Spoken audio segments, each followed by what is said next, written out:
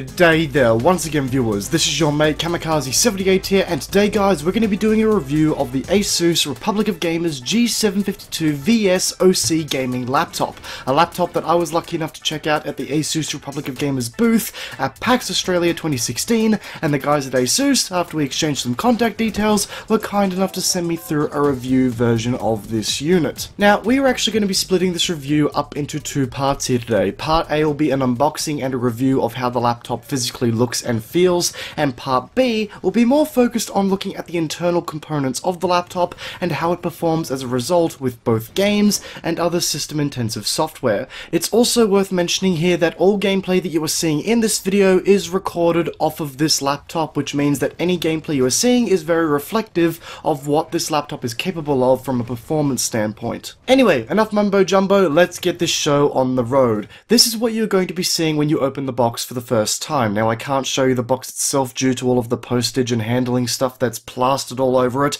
but this is what you'll be greeted with when you open the box itself. And as we can see, the laptop itself takes up the majority of the box space here. On the right we have ourselves our larger than average power pack. Trust me, this is a bloody huge power pack here. And just under the laptop you can find a small hidden compartment per se that has all of your standard issue user guides and warranty booklets, along with a special ASUS cable tie to complete the picture of your purchase. But anyway, let's turn our attention to the one thing that we all came for in this video, the laptop itself. Physically, what do we get? Well, the first thing we have to address is the size and weight of this thing. The dimensions of the unit are 33.3 centimeters in length, 42.8 centimeters in width, and 2.3 to 5.1 centimeters in depth. Now, even for a 17.3 inch screen laptop, that is still a pretty large unit by comparison to your more standard issue laptop on the market. This in combination with its weight of 7.5 kilograms makes the laptop just a little bit more of an effort when it comes to transporting it around.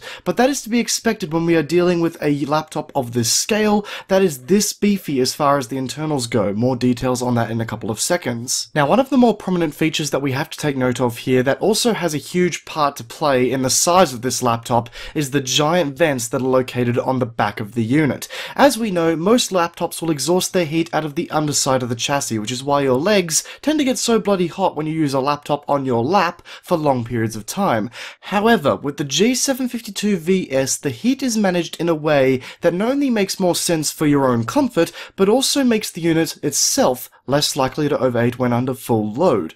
All heat generated by this laptop is sent out through the two vents that are located on the left and right hand side of the back panel. Now, not only does this work amazingly from a functional standpoint and ensures that the laptop always remains cool without giving your legs a complimentary burn, but it also looks pretty damn cool and gives the unit a very nice aesthetic appeal that says that you are a gamer. Whether or not that's something you're after in your PC setup, that's up for you to decide. As for our side panels on on the right hand side we have the power pack input, ethernet port, HDMI input, a mini display port, two USB inputs, one micro USB input, and two 3.5mm audio jacks for headphone and for microphone inputs. This means that both headsets with 3.5mm audio jack configurations and USB configurations will work with this machine. And in all honesty, having your current headphones work with this laptop is an absolute must because the default speaker configuration on this machine is average at best. This comes from the fact that the speakers are located on the underside of the laptop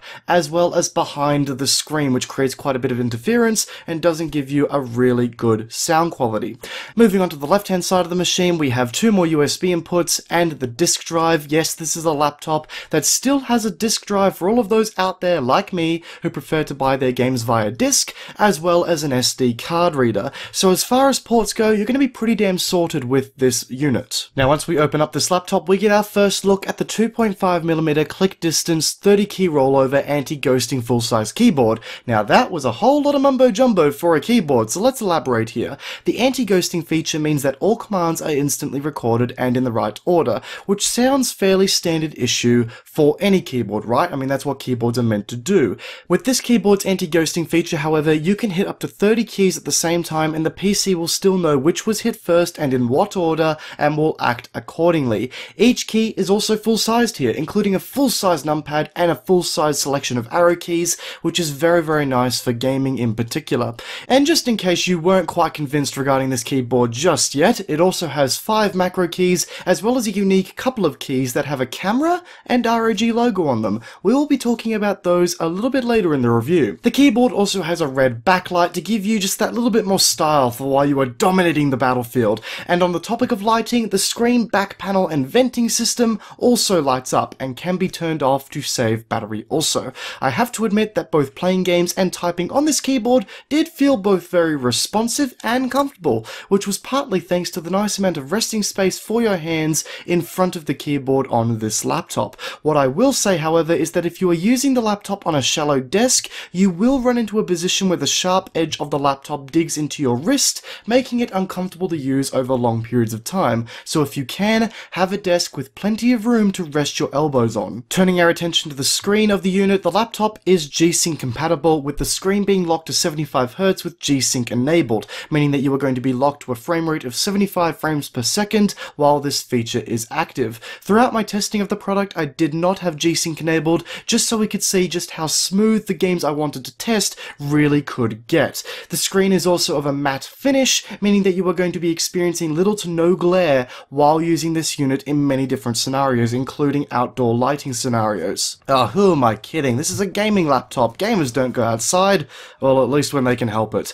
Now, that's everything about the physical attributes of the G752VS, but let's take a look at the specs and the benchmarks I was able to take down for it. For our CPU, we have an Intel Core i7-6820HK clocked at 2.7 GHz out of the box and can be overclocked to 3.6 GHz in turbo mode, alongside the beefy NVIDIA GTX 1070 graphics card with 8GB of DDR5 graphical memory.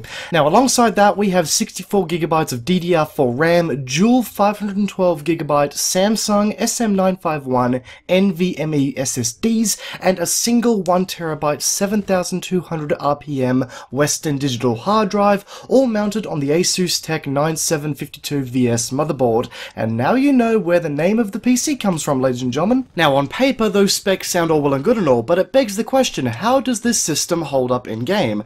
To find out, I tested two new games that are just new on the market, and one older game that is renowned at times for having less than ideal optimization. Those games being Titanfall 2, Battlefield 1, and PlanetSide 2.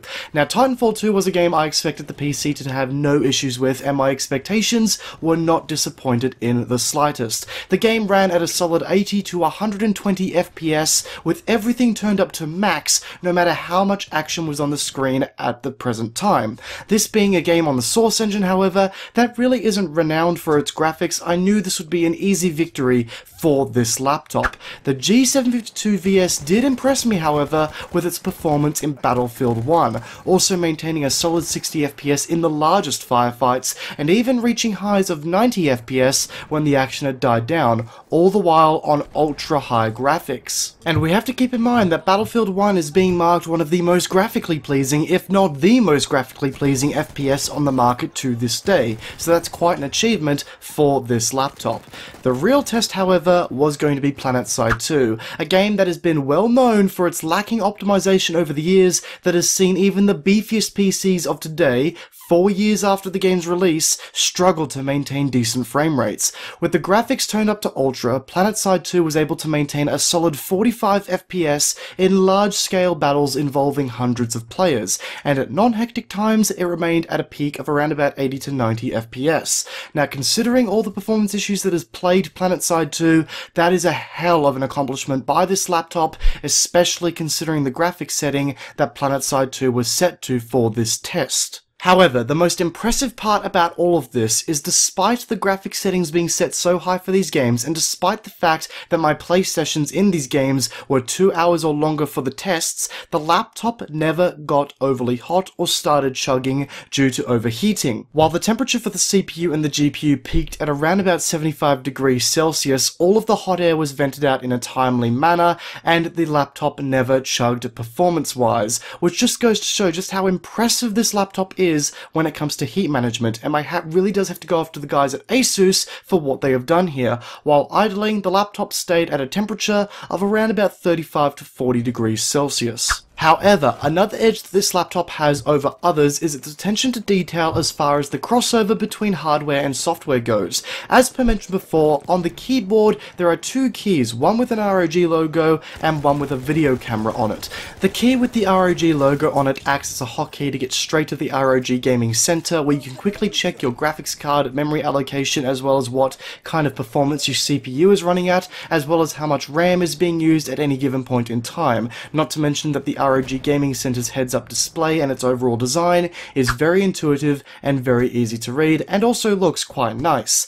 Whereas the video camera key on the keyboard activates the pre-installed XSplit Gamescaster that comes with a full access license out of the box when you purchase this laptop to easily start live stream without any annoying alt tabbing. Now while these might be relatively small features, they show that Republic of Gamers had the gamers and even the on-the-go streamers and YouTubers in mind when it comes to making things more convenient for their target audience. Something else that makes this laptop fantastic for streamers and YouTubers that are looking for an on-the-go PC is the amount of RAM this machine has. As we all know, 64GB of RAM is damn well overkill if you're looking at just gaming with the computer, but for rendering videos, the more RAM you can get your hands on, the better. So with that in mind, I decided to render my latest World of Warships video on both my current full-time PC, running an Intel Core i7-2600K, clocked at 3.4GHz, NVIDIA GTX 680, and 16GB RAM, as well as the G752 VS to see how the render times would differ between the two machines. Now unfortunately, I couldn't do a straight up comparison as my normal PC was running Sony Vegas Pro 13 with GPU rendering enabled, whereas the G752 VS was using Magix Pro 14 which is the same program functionally with Sony outsourcing a bit, with the GPU rendering disabled as I simply couldn't get enabled no matter how hard I tried. However, despite that, the G752 VS still rendered out a 23 minute, 8 second long 1080p 60fps video with color correction and sharpening effects applied in 1 hour 35 minutes 37 seconds without GPU rendering in play. On the other hand, my full-time PC did the exact same render in 3 hours 42 minutes 50 seconds with GPU rendering in play. Even with GPU rendering in play on my current PC, it still did it two hours slower than a machine that was not using GPU rendering. So as we can see here folks, for gaming video content creators out there who find themselves constantly on the move, this is going to be the perfect laptop for you. Even more so when you have a program that allows GPU rendering to be a thing. The pure concept of how fast those render times must be is just mind-boggling to me. So, after all of that, what is my final verdict here today? For the purchase price of 2,999 Australian dollars, it is a pretty hefty price to pay, especially when you could potentially get a desktop with pretty much the same hardware for a cheaper price. So, with that in mind, if you are a gamer who is always on the move with their job, then this is a machine for you, as it will keep you future-proofed for some time as far as the hardware goes, provides the performance that is equivalent to a high-end gaming desktop, and is comfortable to use in most situations situations for long periods of time. If you are a streamer or a YouTuber that spends a lot of time making content while traveling and at conventions, this is also a gaming laptop that could tickle your fancy. But as we mentioned before, you will be able to match the specs of this machine by building your own desktop for a much cheaper price if you know where to look. Sure, the G752 VS might be an awesome looking machine that will provide you fantastic quality gaming and video rendering experiences, but you do pay considerably extra here only because this is a laptop. You are paying much extra for the mobility aspect of it. And considering that this is a bigger laptop than most, that mobility isn't as accessible by comparison to other laptops that you might be used to. If you are someone who plays games primarily at home and only uses a laptop every once in a while for while you're at university studying, then this might be going a bit far overkill. But let's be honest, if you are a uni student, then a laptop as pricey as this one would be something of a fantasy. I know we're all in debt equally.